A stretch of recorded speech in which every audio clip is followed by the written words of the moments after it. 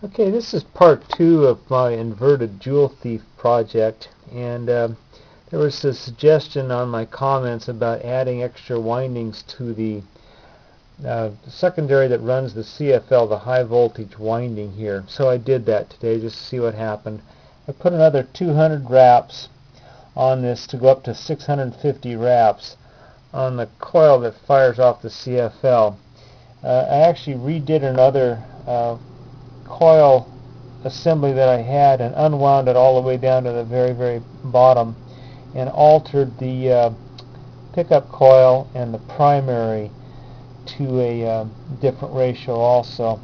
But it was uh, rather dramatic what happened. This will probably be my last uh, posting of this project um, for a while because today I got my ferrite ring.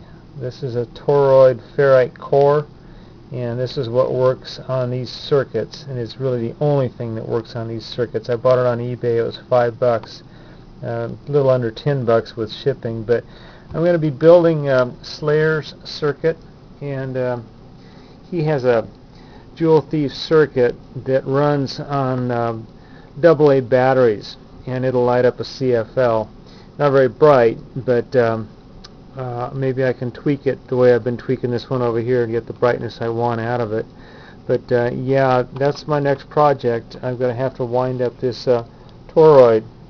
But anyway, today I worked and worked and worked on this and uh, added a few things. I doubled up on the transistors. Yeah, they're not a, a uh, Darlington pair. They're just paralleled. And uh, it's mainly for heat. I've got a lot of heat going on here and also use these ballast resistors on the base because they were getting hot. But um, this was the big thing here.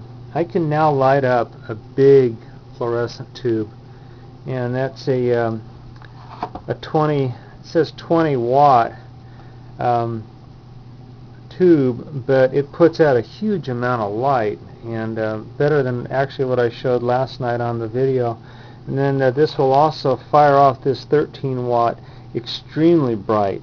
I was afraid I was going to burn it out or blow it up, so I went back to the tube here. But anyway, this was very successful. And uh, I've got big, big back EMF coming off the collector now through this uh, high voltage diode.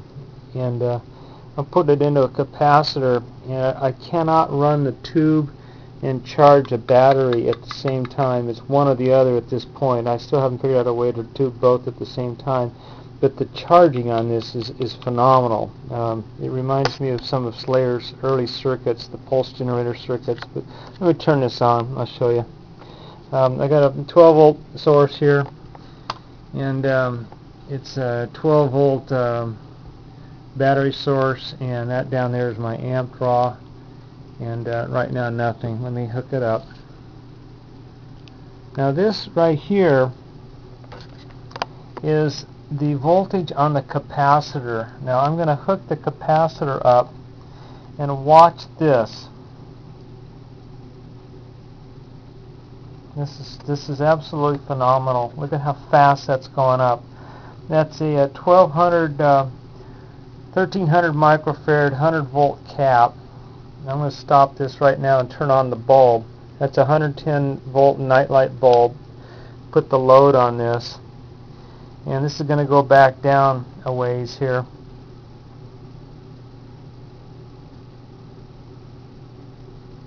Sit there at about 58 volts. Now I'm drawing right now a little less than an amp on that thing. So it's pretty good load on it but that is holding under load 58 volts. I'm going to turn this off again, show you this go back up.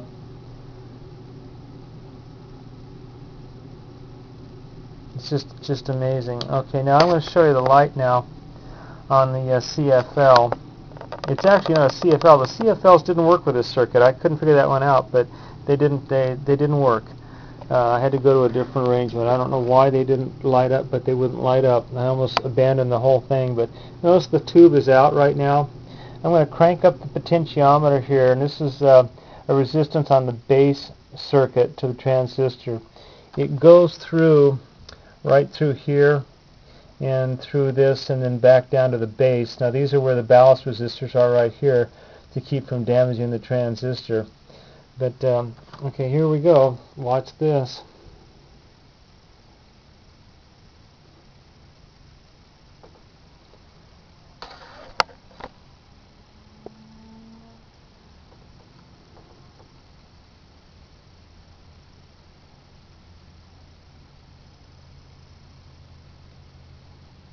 Takes a while for everything to load up, but that is super bright. I'm going to turn this back down. Now I'm going to turn all the lights off again here in the house. Did this last night too. That's lighting up the whole house right now. And like I say, that one light there uh, running off that circuit would be all you'd need to light up your home in an emergency. That one light it really, really, uh, really does the job. Now that's drawn quite a bit. That's drawn down there about an amp and a quarter. And my voltage is about 12.3 on the thing. And uh, there's voltage on the cap. Now if I connect the cap again, I got to turn the um, potentiometer up here quite a ways. And I'll see if I can get the cap to come on again. Yeah. Now, turn this on.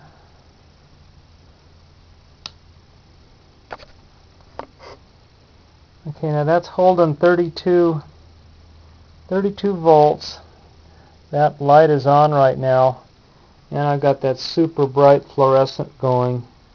And I'm at about amp and a quarter, amp and a half. I can dial this down a little bit. Right there. But that's pretty phenomenal. That's um, making no noise, and like I say, it's lighting up the whole house here. You wouldn't have any problem at all um, using just the one light in your home for for this kind of a thing. And uh, pretty happy with this whole scenario. It's um, if you want big light, this is the way to go. It's an inverter circuit using a modified Joule Thief circuit. And uh, I showed this last night, and like I say, this will probably be the last time I show this because I'm going to be moving over here working with the uh, the uh, Slayer Joule Thief circuit. But anyway, this was very successful. Um, very, very, very successful, but it took all day to get it to work. That's it.